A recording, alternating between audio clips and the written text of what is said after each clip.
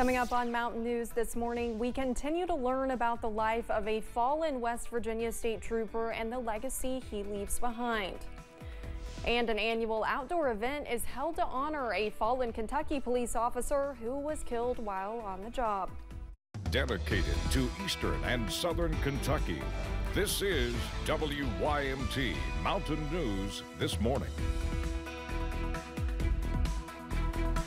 Good morning. I'm Olivia Calfee. The time is now 6.02 on this Monday morning.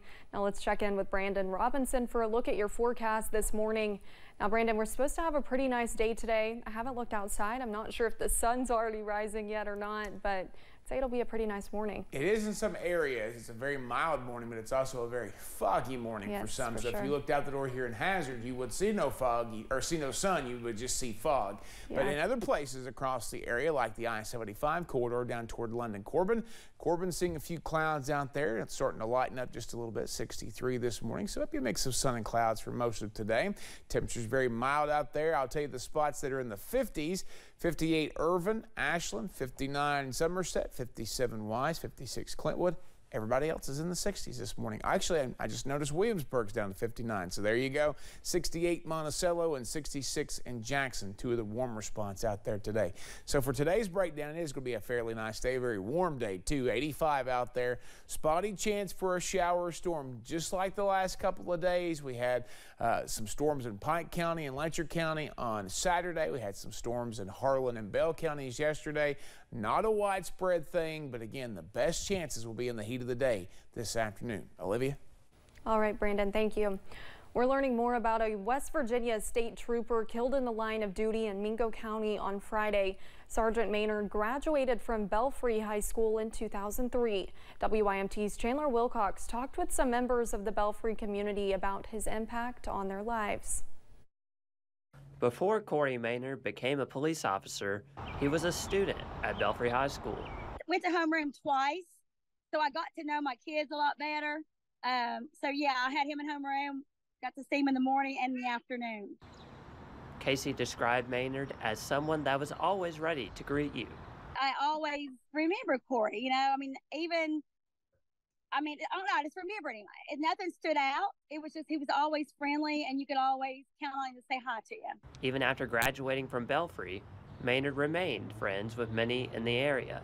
Longtime friend Tina Steele Todd told WYMT he was someone you could count on from childhood through adulthood, and he always stood behind his badge. His death has left many heartbroken. If you're in this long enough, you see a lot of your former students pass away and it was really weird. I really honestly just saw Corey about two weeks ago. I saw him in, at Walmart, I think. And I don't know, it was as soon as I heard this yesterday, I remember seeing him. Corey Maynard's legacy of service to the community will be forever remembered. In Belfry, Chandler Wilcox, WYMT Mountain News. Sergeant Maynard leaves behind his wife and two children who are 9 and 13. West Virginia Governor Jim Justice signed the Cassie Johnson Memorial Act into law. This sets forth a 15 to life sentence for someone convicted of obstruction leading to the death of a first responder. It went into effect on Sunday. Suspected murderer Tim Timothy Kennedy could be eligible for the same sentence if he is convicted of first degree murder of Sergeant Maynard. On Saturday, Governor Andy Beshear tweeted out his condolences for everyone impacted by Maynard's death, saying, quote, I was heartbroken to hear that West Virginia State Police Sergeant Corey Maynard was tragically killed last night while protecting his community. He was a hero who sacrificed everything to make our community safer. Sergeant Maynard was from Pike County here in Kentucky, and his loss is felt by so many. I ask all of the Commonwealth to join Brittany and me in praying for his family, fellow law enforcement officers, and all of West Virginia. End quote. It was one of Louisville's greatest tragedies, a mass shooting at Old National Bank. Five people lost their lives and several others were injured, including LMPD officer Nicholas Wilt. But from the horror, A story of inspiration as an injured officer shows the world what he's made of. Wilt was shot in the head on April 10th. He spent weeks recovering at University Hospital before being transferred to a rehab facility. In an interview with our Louisville sister station Wave, members of Wilt's family talked about how proud they are of him. There's all kinds of things he could have done. He could have been a pharmacist and hid behind a desk the rest of his life somewhere, and I wouldn't have had to worry, but you just never know anymore nowadays anyway. So I'm glad he was doing what he wanted to do, and that gives me a lot of satisfaction. Wilt's family says he's had serious ups and downs since he was shot, but he can now communicate and even get on a treadmill. They say they are starting to see his personality peek through. There continues to be a massive show of support for an officer lo lost in the line of duty. The sixth annual golf scramble for LMPD's Nick Rodman was held during the weekend. In 2017, Rodman responded to a shots fired call and ended up getting into a chase with the suspect. At some point, they crashed into Rodman's cruiser. He died in the hospital. Ever since his death, the annual Nick Rodman Memorial Golf Scramble has raised money for LMPD's Wellness Center and their Officer in Distress Fund. And this year's crowd was the biggest ever. Rodman's wife talked about how they, how his loved ones continue to use his legacy to help other officers who are struggling.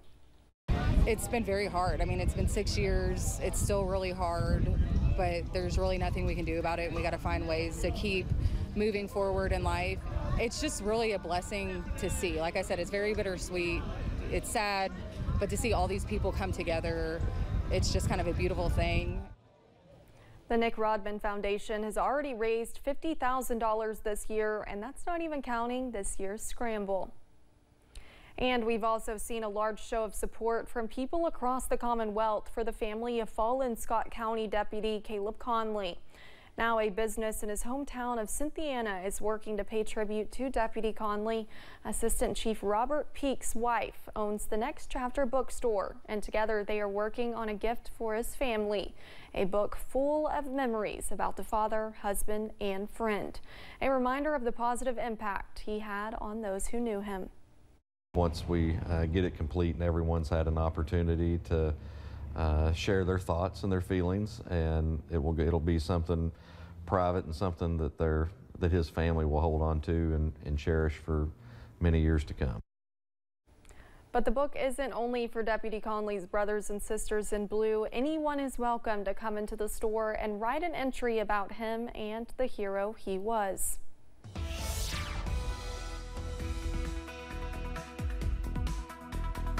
Visibility is still a bit rough this morning, so continue to be careful if you're traveling in some areas right now. We're looking at anything less than five miles, which includes Hazard, Logan, Wise, Jonesville, Harlan, and Middlesboro on our airport map, and several lo other locations in those counties that we just mentioned, uh, seeing some dense fog. So continue to be careful. Looks like Southwest Virginia, most counties over that way that we cover being affected, in parts of East Tennessee, Southeast Kentucky, and again back into Eastern Kentucky just a little bit. We also have some fog in Pikeville, even though know, the airport not showing that. Lake Cumberland not looking terrible this morning, but you can kind of tell a little bit of a maybe foggy haze down that way in Pulaski County right now. We take a look at our temperatures.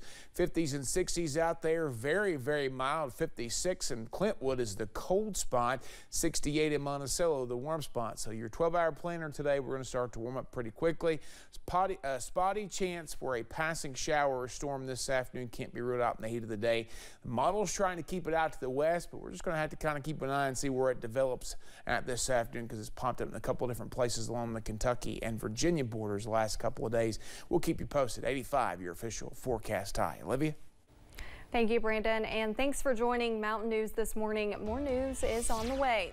Coming up, we learn more about an explosive sound that rattled the nation's capital and the situation that caused it to happen. That's on the way next.